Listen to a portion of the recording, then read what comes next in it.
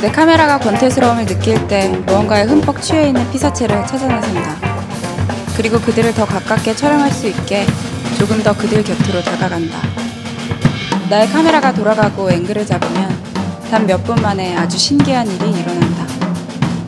그들에게서 느껴지는 엄청난 에너지가 나에게 옮겨부터 몸이 뜨거워지고 그 사람과 나 말고는 아무것도 존재하지 않게 된다.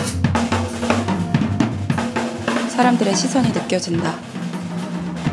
하지만 의식되지 않는다. 이 세상에서 가장 강렬한 눈빛. 최고치의 집중력을 찍는 짜릿함. 행위를 위한 질주.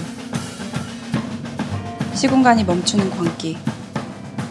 이 행위를 하기 위해 태어났다는 순간의 확신. 순간을 완전히 장악하는 모아지감.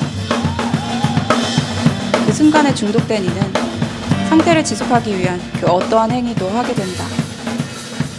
또 그것을 지속하기 위함은 오직 그 행위를 위한 행위일 뿐 어떠한 선한, 악한 이유도 없다. 영화 위플래시에서 최고의 드러머가 되고 싶어하는 앤드류에게 플래처 교수가 이렇게 말했다. 세상에서 가장 쓸데없는 말이 그만하면 잘했어요. 그 최고치의 순간은 어중간한 타협으론 맛볼 수가 없다.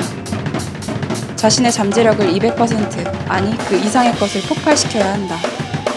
그리고 그것과 내가 호흡하는 순간 오랫동안 멈춰있던 나의 카메라는 가진 모든 배터리와 메모리를 삼켜버려야 하지만 행위를 멈춘다.